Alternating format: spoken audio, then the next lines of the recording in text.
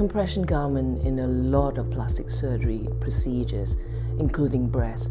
Compression garments are important because it does help to keep bruising and swelling down, reduces the risk of complications like uh, bleeding, hematoma, seroma. Uh, by supporting the scars and reducing the pull and tension of the scars, it generally helps scars to heal better.